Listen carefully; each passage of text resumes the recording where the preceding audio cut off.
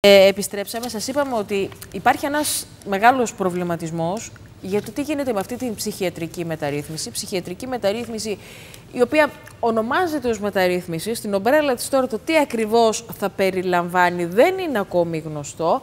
Ε, όλοι μιλούν για έναν εθνικό οργανισμό πρόληψης και αντιμετώπισης εξαρτήσεων, ο οποίος όμως θα περιλαμβάνει μέσα τους φορείς και ε, ε, τους τρόπους με τους οποίους γίνονται θεραπευτικές μέθοδοι μέχρι τώρα στην Ελλάδα κάτω από ένα συγκεκριμένο κανόνα, κάτω από μια, από μια συγκεκριμένη οδό; Ναι, αλλά βάζει αυτή η ενοποίηση, νομίζω γίνεται λίγο παράδοξα. Βάζει διαφορετικά προγράμματα, διαφορετικές φιλοσοφίες απεξάρτησης ε, στον ίδιο κουβά και τα ομογενοποιεί όλα που νομίζω ότι δεν συνδυάζονται απαραίτητος και στερεί και επιλογές από τα εξαρτώμενα άτομα.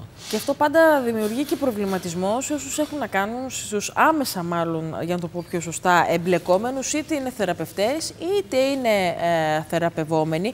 Και να ευχαριστήσουμε πάρα πολύ τον κύριο Λουκά Χατζηλουκά, ο οποίος είναι μαζί μας, είναι θεραπευτής και μέλος του Διοικητικού Συμβουλίου του ΚΕΘΕΑ. Καλησπέρα σας. Καλησπέρα. Και τον κύριο Γιώργο Γαλάτη, είναι ιδιωτικός υπάλληλος και φοιτητής ε, πλέον. Μας τα λέγατε και νωρίτερα, θα τα πούμε και στη συνέχεια. Καλησπέρα σας. Ευχαριστούμε που είστε εδώ. Εμείς για τη Χαρά μας. Χαρά μας. Κύριε Χατζηλκά, ε, η αλήθεια είναι ότι ακούμε για έναν εθνικό οργανισμό λοιπόν, πρόληψης και αντιμετώπισης εξαρτήσεων. Ποιος είναι ο δικός σας ο προβληματισμός και τι είναι εκείνο το οποίο γνωρίζετε, τουλάχιστον σε επίπεδο πληροφοριών, και τι ανησυχία σας δημιουργεί αυτό; Ε, η αλήθεια είναι ότι δεν γνωρίζουμε, όπως είπατε και εσείς πριν από λίγο, το τι ακριβώς έρχεται να φέρει αυτός το ο, ο ΕΟΠΑΕ.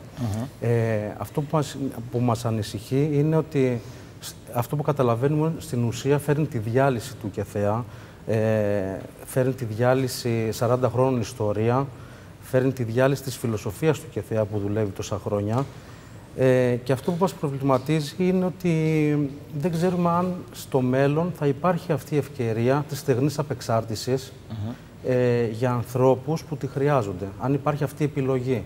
Η στεγνή επεξάρτηση να μας εξηγήσετε τι ακριβώς είναι, κύριε Χατζηλογία, για κάποιον που ενδεχομένως δεν ξέρει. Ε, ωραία. Το ΚΕΘΕΑ ε, λειτουργεί με τη ψυχοκοινωνική ε, προσέγγιση, όπου δεν αντιμετωπίζει ξεκάθαρα τη χρήση ως το πρόβλημα, αλλά ως αποτέλεσμα του προβλήματος. Οπότε, κοιτάμε λίγο έναν, ένας άνθρωπος που θα έρθει, καταρχήν δεν είναι ασθενής ο άνθρωπος. ε, κοιτάμε λίγο τι συμβαίνει στο περιβάλλον, τι είναι αυτό που τον οδήγησε στη χρήση. Αυτό είναι το βασικό που κοιτάει το ΚΕΘΕΑ. Ε, και παράλληλα μέσα από τις δραστηριότητες, να σας πω και εγώ από τη δική μου εμπειρία, γιατί και εγώ πέρα προεργαζόμενο είμαι απόφυτο του ΚΕΘΕΑ. Ε, εμένα με βοήθησε πάρα πολύ στα εκπαιδευτικά μου, γιατί μέσα στο, στο ΚΕΘΕΑ υπάρχει σχολείο. ε, υπάρχουν, υπάρχουν χόμπι που μπορείς να κάνεις. Υπάρχει το κέντρο ημέρας, όπου ένας άνθρωπος έχει τη δυνατότητα από το περιθώριο που βρίσκεται να βρεθεί σε έναν χώρο με άλλους ωφελούμενους, που το, το βασικό εργαλείο του ΚΕΘΕΑ είναι οι ομάδες αυτοβοήθειας. Ε, έχουμε το κέντρο ημέρας, όπου θα έρθει ο άνθρωπος, θα πιει τον καφέ του, θα μαγειρέψει, θα κάνει τις, το λειτουργικό μέσα στο σπίτι, όπως το λέμε εμείς. Δηλαδή, μια καθημερινή ζωή, γιατί η απεξάρτηση είναι τρόπο ζωής. Αυτή είναι, η, αλλαγή, Αυτή είναι ζωής. η φιλοσοφία, του, ΚΕΘΕΑ. Υπάρχει όμως και μια άλλη μέθοδος που ακολουθείτε, ας πούμε, με τα υποκατάστατα, έτσι, Υπάρχει στον άλλη μια μέθοδος, η οποία, από ότι, εντάξει, ε, ε, δική μου άποψη είναι αυτό, ε, και αυτός ο οργανισμός έρχεται να προωθήσει λίγο τη μείωση βλάβης, ε, δηλαδή τι είναι μείωση βλάβης, ε, λειτουργικοί χρήστες. Που αυτό ε, πρέπει να προβληματίσει πέρα από εμάς, πέρα από εργαζόμενους, πέρα από πρώην χρήστης, ε, ανησυχώ και σαν πατέρας και σαν σύζυγος και σαν γείτονας και σαν εργαζόμενος, έτσι. Και είναι ένα θέμα το οποίο νομίζω ότι αφορά όλη την κοινωνία και ο καθένας πρέπει να πάρει τη δική του ευθύνη, να δούμε λίγο τι θα γίνει, γιατί όταν βλέπουμε την εξάρτηση ε, που συνεχώς καλπάζει και μέσα στα σχολεία, δεν υπάρχει πρόληψη. Παρ' όλα αυτά όμως το ΚΕΘΕΑ ε, με την κινητή μονάδα που λειτουργεί τώρα τρία χρόνια, ε, αυτή τη στιγμή ε, στο Ζαρό ε, κάνει θελοντικά ε, ομάδες οικογένειας συμβουλευτικής για να δουν λίγο έτσι το πρόβλημα, ε, επιμορφωτικά σεμινάρες εκπαιδευτικούς σε Χερσόνη, Σομάγια, προς Άγιο Νικόλαο και αναρωτιέμαι, όλα αυτά θα υπάρχουν μέσα σε αυτή την ομπρέλα η οποία θα λέγεται ΕΟΠΑΕ. Και όταν έρχεται ε, αυτός ο ΕΟΠΑΕ να καταργήσει αυτή την ταυτότητα, δεν ξέρω τι θα υπάρχει. Άρα, κύριε Γαλάτα, για να πάμε και σε εσάς, ε, υπάρχει φόβος ότι αν καταργηθεί όλα αυτά που μας περιέγραψε ο κύριος Χατζηλουκάς, τι θα γίνεται, δηλαδή θα, θα ακολουθείτε αυτή η μέθοδος με, με τα υποκατάστατα, θα στέλνονται όλοι στα νοσοκομεία για να παίρνουν το υποκατάστατό τους και θα χαθεί η άλλη επιλογή που μας περιέγραψε τώρα ο κύριος Χατζηλουκάς. Αυτός είναι ο φόβος. Αυτό εγώ να πω ότι και εγώ απόφυτος είμαι ε, και φοιτητής πλέον στο, στο ΙΕΚ ως τμήμα εργοθεραπείας. Ε, και εγώ είμαι από αυτούς που πρόλαβε να τελειώσει. Εμένα ο φόβος μου είναι ότι ε, μην γίνει ιδιωτικό, δηλαδή σε φάση ότι ε, θα πρέπει ας πούμε κάποιος χρήστης που δεν έχει τη δυνατότητα να πληρώσει ένα χρηματικό ποσό για να κάνει μια εισαγωγή ας πούμε σε, σε μια, στον ΕΟΠΑΕ που όπως λέμε, ε, το πόσοι ανθρώποι ας πούμε θα χάσουν αυτή την ευκαιρία που ε, δεν θα μπορούν να, να πάνε να κάνουν κάτι για τον εαυτό τους όταν πάρουν την απόφαση αυτή. Ε, αυτό. Τι είναι για σας το, το, το ΚΕΘΕΑ, κύριε Γαλάτη, δηλαδή τι σημαίνει για σας αυτή η πορεία α, από εκεί; Ε, εμένα προσωπικά, θα μιλήσω για τον εαυτό μου, ήταν ε, σε εισαγωγικά μια οικογένεια μεγάλη που γνώρισα και μου έδειξε το δρόμο πώς ε, να, ζήσω και να εξελίξω τη ζωή μου. Ε, πραγματικά, όταν κάποιος δεν ξέρει βασικά τι δουλειά γίνεται εκεί μέσα, ε, μπορεί να πει και να, να κάνει ό,τι, ό,τι νομίζει. Ε, για μένα ε, είναι η δεύτερη μου οικογένεια το πρόγραμμα. Δηλαδή ακόμα είναι και πάρα πολλές φορές που και θα πάω από εκεί ε, για να δώσω δύναμη στους συνοδοιπόρους μου. Ε, θα πάω να δω συμβούλους ανθρώπους που με βοηθήσανε. Ε, δεν μπορώ να πω με λέξεις, ας πούμε, τι είναι για μένα, ας πούμε, το... Νιώθετε ότι ήταν μια δεύτερη ευκαιρία στη ζωή το και θεά για εσάς, ότι σας έδειξε τον, το δρόμο. Ε, μου λέγατε νωρίτερα στο διάλειμμα ότι είστε φοιτητής και μάλιστα τα καταφέρατε και είστε φοιτητής μέσα από το πρόγραμμα του να, ΚΕΘΕΑ που να, παρακολουθούσατε. Ναι, γιατί, και σπουδαίο είναι αυτό.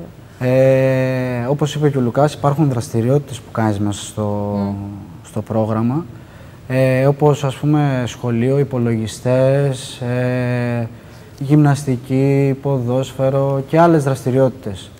Ε, εγώ ξεκίνησα από το, με, με, τη θεραπεία μου, μαζί με τη θεραπεία μου, ξεκίνησα και το σχολείο. Ε, δεν είχα, ήμουν απόφυτος ε, δημοτικού, επομένως ε, ξεκίνησα μέσα από, από το πρόγραμμα μαθήματα με ε, δασκάλους που ήταν θελοντικά εκεί ε, και κάναμε μαθήματα και όταν ήταν εξετάσεις στο σχολείο πήγαινα και έδινα. Τελείωσα το γυμνάσιο, μόλις τελείωσα και τη θεραπεία μου, ε, συμπίπταν αυτά τα δύο. Ε, Επομένως, εγώ συνέχισα το Λύκειο, τελείωσα το Λύκειο και τώρα ε, φέτος έκανα ε, στο ΙΕΚΤΗ ξεκινάω μαθήματα.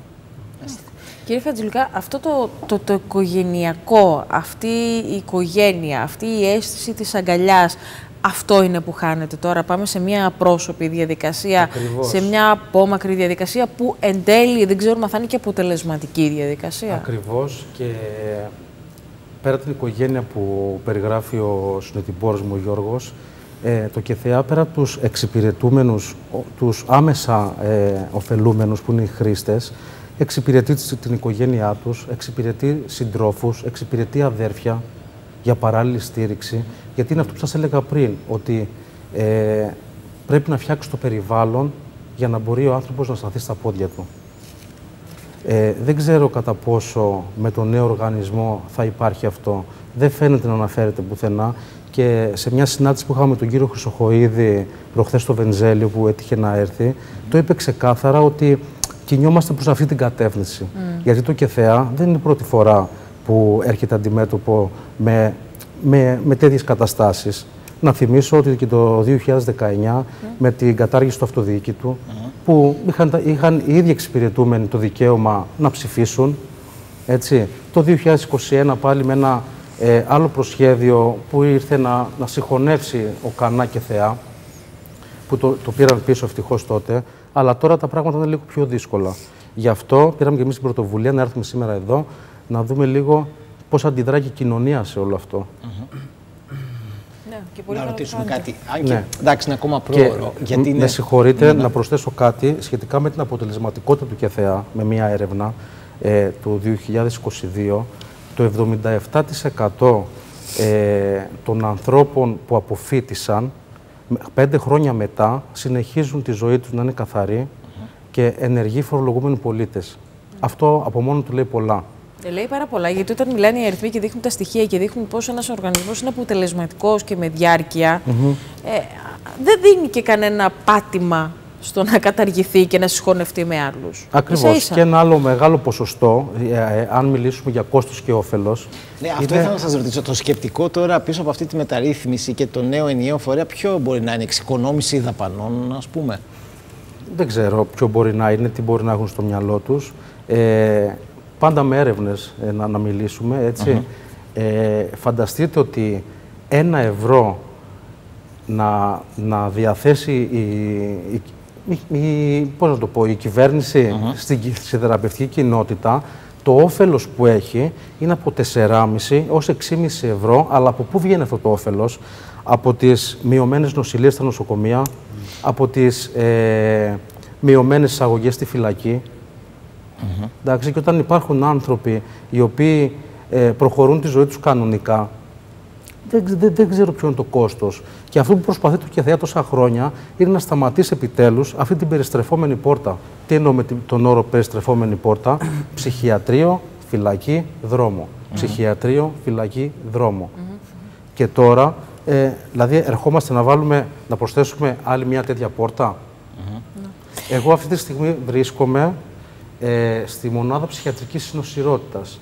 Τι είναι αυτή η μονάδα; Αυτή η μονάδα ε, ήρθε για να εξυπηρετήσει ανθρώπους που πέρα την εξάρτηση αντιμετωπίζουν και θέματα με- με την ψυχική τους υγεία.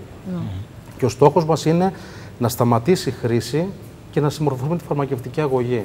Αυτοί οι άνθρωποι, αν φύγουν από εμά, δεν υπάρχουν δομές να τους εξυπηρετήσουν. Οπότε μιλάμε για ανθρώπους ψυχικά ασθενείς που θα μείνουν στο δρόμο. Οι οποίοι μένουν ξεκρέμαστοι τελείως. Ναι, και το, να πω κάτι. Το ερώτημα τώρα είναι ότι είναι κάποιοι άνθρωποι που αυτή τη στιγμή ακολουθούν αυτή τη στεγνή έτσι, διαδικασία ε, θεραπείας. Αυτοί, αν περάσει αυτή η μεταρρύθμιση, θα σταματήσουν το στενό πρόγραμμα και θα πάνε στα, στα υποκατάστατα; Όπως δεν σας είναι είπα και γνωστό. πριν, δεν μας, δεν μας είναι γνωστό ακριβώς. Αυτό που είναι σίγουρο, έτσι και το λέω με το χέρι στην καρδιά, είναι το ότι έρχεται να διαλύσει αυτή τη φιλοσοφία. Γιατί το ΚΕΘΕΑ, κάτω από το ΚΕΘΕΑ, δεν είναι, είναι ο Μανώλης, είναι ο Γιώργος, είναι διάφοροι συνάδελφοι, είναι το προσωπικό που είναι εκεί πέρα κάθε πρωί και περιμένουν τον άνθρωπο που είναι στο περιθώριο να τον κάνουν μια αγκαλιά, να πιούν ένα καφέ μαζί, να νιώσει λίγο ότι υπάρχει κάποιος ο οποίος με νοιάζεται. Κύριε Χατζηλουκά, να βάλουμε και κύριε Γαλάτα, να βάλουμε στη συζήτησή μας και τον κύριο Αλέξανδρο Αντωνελάκη ε, από τα Χανιά. Με τη βοήθεια της τεχνολογίας τον έχουμε μαζί μας. Καλησπέρα σας. Καλησπέρα. Σας ευχαριστούμε πολύ που είστε στη συζήτησή μας, α, κύριε Αντωνελάκη. Σας βλέπουμε κιόλας ευχαριστώ. τώρα. Η αλήθεια είναι ότι το ΚΕΘΕΑ είναι μια μεγάλη αγκαλιά, μια μεγάλη οικογένεια, η οποία τώρα δίνει τη δική της μάχη για να παραμείνει ζωντανή, να παραμείνει ενεργή. Και θέλω το, το δικό σας α, σχόλιο, κύριε Αντωνελάκη. Αυτό που λέτε ισχύει γιατί άλλωστε εμείς είμαστε απόφοιτοι. Θα μπορούσαμε αυτή τη στιγμή να είμαστε στα σπίτια μας, στη δουλίτσα μας και είμαστε εδώ πέρα και ε, προσπαθούμε να κάνουμε κάτι για να μην αλλάξει αυτή η φιλοσοφία. Ε, οπότε αυτό σημαίνει πολλά, σημαίνει ότι είμαστε οικογένεια. Ναι. Ε, ε, αμέσως, αμέσως. Πρέπει να σας πω ότι οι άλλοι δύο κύριοι που βρίσκονται εδώ στο στούντιο σας βλέπουν και, και χαμογελούν με αυτή την αγάπη και το χαμόγελο, το οικογενειακό χαμόγελο, τα βλέπουμε ένα οικείο πρόσωπό μας. Είμαι σίγουρος, είμαι σίγουρος. Ε, εγώ ήθελα να πω ότι εμείς σαν απόφοιτοι ε, έχουμε κάθε δικαίωμα να είμαστε ενάντια σε αυτό, ε, διότι αυτή η φιλοσοφία και αυτή η λειτουργία μας έφερε στη ζωή και είμαστε εδώ, είμαστε το ζωντανό παράδειγμα. Ε, ε, εγώ, ο Λουκάς, ο Γιώργος και πάρα πολλοί άλλοι. Έτσι. Ε, οπότε ε, θα, αυτό που θέλουν να ε, αλλάξουν, ε, δυστυχώς ε, θα φέρει, θα φέρει προβλήματα. Θα, δυστυχώς δεν θα έχουν κάποιοι το δικαίωμα να αλλάξουν τη ζωή τους. Εγώ αυτό πιστεύω. Σας ακούγεται ε... παράλογο, έχοντας περάσει μέσα από το ΚΕΘΕΑ, έχοντας δει τη λειτουργία του, έχοντας δει πόσο σας έχει βοηθήσει και εσάς προσωπικά, σας ακούγεται παράλογο αυτό; Μου ακούγεται παράλογο γιατί όταν κάτι λειτουργεί, γιατί λειτουργεί. Αυτή τη στιγμή είμαστε εδώ και μιλάμε, είμαστε ζωντανοί. Ε, πριν πολλά χρόνια δεν ήμασταν έτσι, όπως μας βλέπετε τώρα. Ε, οπότε λειτουργεί. Άρα είναι παράλογο, γιατί όταν κάτι λειτουργεί, θα πρέπει να το βοηθήσεις να εξελιχθεί να γίνει καλύτερο και όχι να του αλλάξεις τη φιλοσοφία και να το αλλάξεις ριζικά. Και όχι, όχι απλά είστε, κύριε Αντωνελάκη, γιατί θέλω να αναφερθώ λίγο και σε εσάς προσωπικά, όχι απλά είστε εδώ ζωντανός, ε, είστε και ένα φωτεινό παράδειγμα, είστε και ένας άνθρωπος που είστε έτσι γνωστός και στο ευρύ κοινό, ήσασταν και στο Masterchef, έτσι το γνωστό show με ιδιαίτερη επιτυχία και στείλατε και περάσετε και τα δικά σας ε, προσωπικά μηνύματα. Ναι, και το, και το έκανα γιατί είναι χρέος μου να το κάνω, γιατί ε, και εγώ πήρα κάποια μηνύματα από κάποιους άλλους ανθρώπους που είχαν αλλάξει τη ζωή τους, από απόφυτους, ε, και το ίδιο έκανα και εγώ και το ίδιο κάνουμε σήμερα, να και τρεις που είμαστε εκεί και πολλοί άλλοι. Ε, ο σκοπός είναι να δώσουμε παρακάτω ό,τι έχουμε πάρει ε, από αυτή τη φιλοσοφία, από αυτό το πρόγραμμα, από το ΚΕΘΕΑ που μας βοήθησε και αυτή τη στιγμή βρισκόμαστε στη ζωή. Τι είναι εκείνο το οποίο θέλετε να στείλετε ως μήνυμα και ε, προς εκείνους που παίρνουν τις αποφάσεις τελικά; ε, σε ό,τι έχει να κάνει με τις δρομολογούμενες αλλαγές και όπως τις συζητάτε φυσικά και με άλλους απόφοιτους. Ε, το μήνυμα που θα στείλω εγώ είναι ότι εμείς ε, θα παλέψουμε, δεν θα σταματήσουμε. Έχουμε πολύ πείσμα, άλλωστε έχουμε έρθει από τον πάτο ε, και δεν έχουμε να φοβηθούμε τίποτα, οπότε θα παλέψουμε μέχρι το τέλος και εγώ είμαι ε, πολύ αισιόδοξος ότι θα καταφέρουμε πολλά πράγματα και θα καταφέρουμε να μην χαλάσουμε ε, αυτή τη φιλοσοφία. Δεν ξέρω αν εσείς, κύριε Χατζηλουκά και κύριε Γαλάτα, θέλετε να στείλετε και εσείς παράλληλα ένα μήνυμα, βλέποντας φυσικά και τον κύριο Αντωναλάκη. Κύριε Χατζηλουκά. Ε, δεν ξέρω αν θα γίνω κακός με αυτό που θα πω, αλλά εγώ νιώθω ότι κάποιοι άνθρωποι που παίρνουν αυτές τις αποφάσεις ίσως να είναι εξαρτημένοι με κάτι άλλο, με την εξουσία, με την καρέκλα. Εγώ αυτό που θέλω να πω και το μήνυμα που θέλω να δώσω είναι να σηκωθούν από την καρέκλα, να βγουν στην κοινωνία, να πάνε μέσα στις πιάτσες που πάμε εμείς, να ακούσουν τη φωνή και την ανάγκη των Χριστών και να πάρουν μια απόφαση να δουν πώς θα κάνουν τα πράγματα καλύτερα. Γιατί πέρα από όλα αυτά που λέμε ότι διαλύεται, μην νομίζετε ότι και το ΚΕΘΕΑ τώρα είναι πλήρης τελεχωμένο. Υπάρχουν άνθρωποι οι οποίοι δίνουν την ψυχή τους για να μπορούν να εξυπηρετήσουν αυτούς τους ανθρώπους που έχουν ανάγκη. Και ξέρετε, μπορεί να είναι και πολιτικές αποφάσεις οι οποίες ακριβώς δρομολογούνται γι' αυτό το λόγο. Πονάει χέρι, κόβω χέρι. Ναι, ε, έχω υποστελέχωση στο ΚΕΘΕΑ, άρα κλείνω το ΚΕΘΕΑ και να το συγχωνεύσουμε με κάτι άλλο για να μην υπάρχει υποστελέχωση, όχι στήριξη. Ακριβώς. Κύριε Καλάτη, και εσάς το δικό σας μήνυμα θα θέλαμε και ιδίως και προς τα νέα παιδιά, γιατί βλέπουμε ότι, και, ε, ότι επεκτείνεται και το φαινόμενο της χρήσης και στα σχολεία πλέον όσο περνούν τα χρόνια. Εντάξει, η εξάρτηση είναι με πολλές μορφές, είναι και με το αλκοόλ, ε, διαδίκτυο πλέον ας πούμε, δεν είναι μόνο τα ναρκωτικά. Εγώ το μήνυμα που θέλω να δώσω είναι ότι αντί να καταργήσω ένα τέτοιο φορέα, ε, εμένα η γνώμη μου θα ήταν να τον ενισχύσουν, γιατί, γιατί είναι ανθρώποι, δεν ξέρω πόσα παίρνουν, ε, αλλά έχω δει ζωντανό παράδειγμα άνθρωπου που είναι 24 ώρες ε, εκεί. Για, για εμένα, για τον Λουκά, για τον ένα, για τον άλλο. Ε, και έχουν δώσει την ψυχή τους για, για ανθρώπους. Αυτό θέλω να πω εγώ. Ε, και το άλλο που ήθελα να πω είναι ότι εγώ, ας πούμε, τέσσερα χρόνια που ήμουν, είμαι στο πρόγραμμα, ε, δεν είδα ούτε έναν να έρθει να, να μπει μέσα στην κοινότητα, να, να ρωτήσει έναν καθημερινό χρήστη, πώς, πώς είναι για σένα πούμε, το ΚΕΘΕΑ. Κάποιος από αυτούς που θέλουν ας πούμε, να περάσουν τώρα ένα τέτοιο νομοσχέδιο, θεωρώ ότι δεν έχουν ιδέα τι γίνεται. Άρα δεν γνωρίζουν αυτό λέτε, Εγώ αυτό ότι σχεδιάζουν χωρίς να γνωρίζουν τίποτα. Δεν γνωρίζουν καν τι δουλειά γίνεται εκεί, δεν γνωρίζουν καν ε, τι θέλουν να κάνουν. Εγώ αυτό θεωρώ. Κυρία Ντονελάκη, έχουν υπάρξει ε, παιδιά, νέοι, ε, άνθρωποι οι οποίοι σας έχουν προσεγγίσει και σας ρωτάνε για να μάθουν περισσότερες πληροφορίες, να σας πούνε εσύ, εσύ πώς τα κατάφερες, τι έκανες για να τους δείξετε έτσι το δρόμο και δεχομένως, ότι ξέρετε πολλές φορές χρειάζεται και κάποιος να πιάσει κάποιον άλλον από το χέρι. Ε, έχουν υπάρξει τέτοιες περιπτώσεις; Η αλήθεια είναι ότι εγώ και μετά από το παιχνίδι τέλος πάντων ε, έχω πάρα πολλά μηνύματα, ακόμα και μέχρι σήμερα, πολλά μηνύματα από κόσμο ε, που δεν γνωρίζω κιόλας και από γονείς που έχουν θέμα με τα παιδιά τους και από παιδιά που είναι ήδη στη χρήση, οι οποίοι με ρωτάνε τι να κάνουν. Εγώ δυστυχώς δεν μπορώ να κάνω πολλά. Μπορώ να τους πω τι έκανα εγώ, πού πήγα, πού ζήτησα βοήθεια ε, και να τους δείξω ότι είμαι εδώ και γίνεται. Αυτό κάνω. Ε, αλλά είναι, έχω, έχω πάρα πολλά μηνύματα από πολύ κόσμο. Ξέρετε, ακόμα και αυτό το ότι εγώ έκανα αυτό και είχε αποτέλεσμα και είμαι εδώ σήμερα ζωντανός και ε, μακριά από οποιαδήποτε σκιά έτσι στην ε, ζωή μου, είναι και το καλύτερο χέρι που μπορεί να τραβήξει κάποιον. Και γι' αυτό χαιρόμαστε πάρα πολύ που έχουμε και εσάς και τον κύριο Χατζηλουκά αλλά και τον κύριο Γαλάτα εδώ σήμερα μαζί μας, γιατί είστε τέτοιου είδους παραδείγματα και είναι χαρά μας να τα προβάλλουμε και να λέμε στον κόσμο που μας παρακολουθεί και ενδεχομένως να θέλει να αναζητήσει βοήθεια είτε για τους ίδιους είτε για πρόσωπα τα οποία γνωρίζει, να μην διστάσει και να το, να το κάνει. Νομίζω ότι αυτό είναι ένα πολύ δυνατό μήνυμα και χαιρόμαστε που το περνάμε μέσα από την εκπομπή. Εγώ, εγώ θα ήθελα να πω κιόλας ότι ε, ε, αυτό είναι ότι καλύτερο, το ότι να δεις το ζωντανό παράδειγμα. Ε, αυτό είναι, νομίζω ότι είναι, από εκεί μπορεί να πάρεις δύναμη. Εγώ τουλάχιστον ε, έτσι πήρα δύναμη και άλλαξε η ζωή μου, γιατί κάποτε πίστευα ότι δεν γίνεται. Δεν γίνεται, δεν υπάρχει αλλαγή.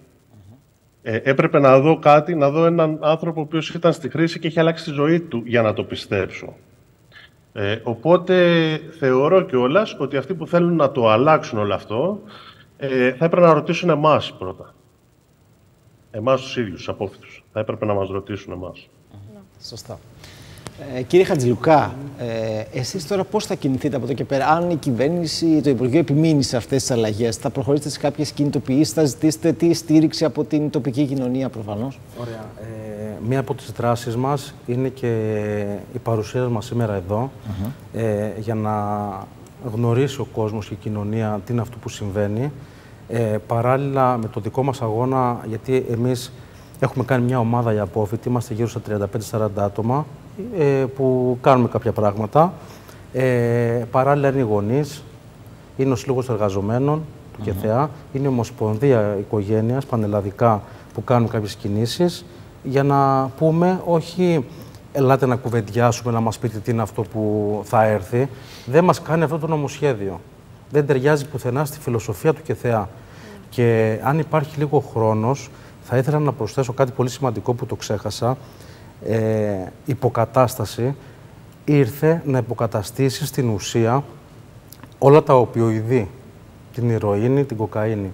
Αυτή τη στιγμή που μιλάμε υπάρχουν νέες εξαρτήσεις, mm όπως είναι τα gaming, που βλέπουμε από πολύ μικρή ηλικία παιδιά να είναι κολλημένα στα τάμπλετ, έτσι, και μας έρχονται εμάς στα 12 τους. Ε, ένα άλλο πολύ ισχυρό ναρκωτικό που έχει έρθει ένα κρούσμα εδώ στο Ηράκλειο, ε, είναι το φεντανίλ. Το φεντανίλ είναι ε, μια ουσία αναισθητική η οποία τη χρησιμοποιούν στα χειρουργεία, πάμφτινο. Ναι. Και αυτή τη στιγμή που μιλάμε με έρευνα ε, στις Ηνωμένες Πολιτείες Αμερικής ε, από τις 106.000 ε, από τους 106.000 χρήστες, οι 70.000 έχουν πεθάνει από αυτή, από αυτή την ουσία. Οπότε μιλάμε ότι. Άρα ε, έχουμε ήδη έναν συνάνθρωπο μας ο οποίος έχει καταφύγει εδώ στο, μας, στο Ο οποίος ήρθε στο ΚΕΘΕΑ με αυτή την ουσία.